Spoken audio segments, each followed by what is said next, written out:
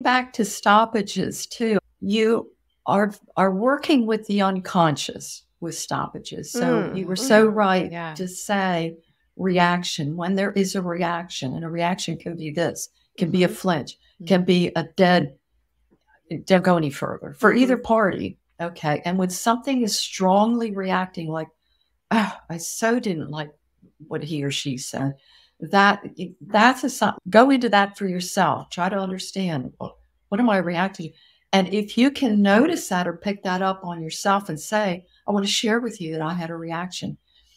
If you notice in your partner, hey, you know, kind of noticed you weren't with me and you were, and so if you can use I statements like, um, I'm feeling left out here. I'm feeling rather than you're not responding or you're, you're moving too fast, you're moving too slow, you know, making it about I because we are so sensitive about our sexual So true. relating. Oh my gosh, it's one of the biggest triggers that we go through as humans. And yeah, that real that NVC nonviolent communication, like taking ownership and responsibility as you speak to it. Like I like you just said, I am feeling Mhm. um this or or, I'm that. noticing I'm I'm feeling afraid for some reason, and I I I know there's nothing to be afraid of, but I'm noticing I'm I'm feeling unsettled.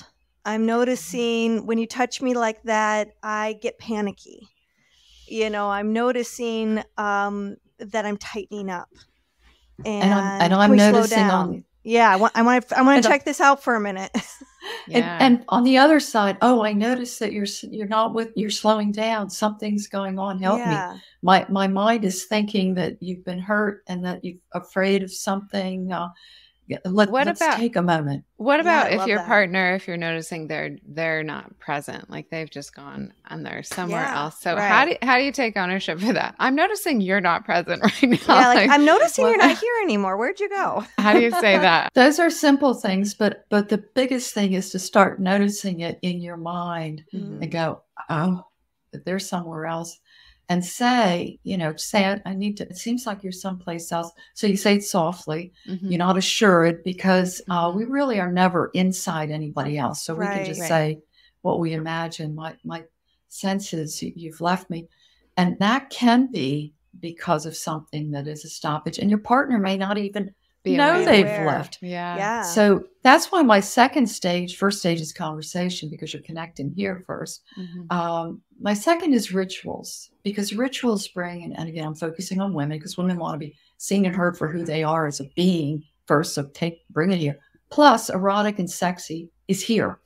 Yeah. Okay. Mhm, Amen. So my second stage is rituals because she's coming from doing it all and from a busy world and working, and you're bringing her into this gentle, sensitive, interactive realm now because intimacy only happens now and in the present.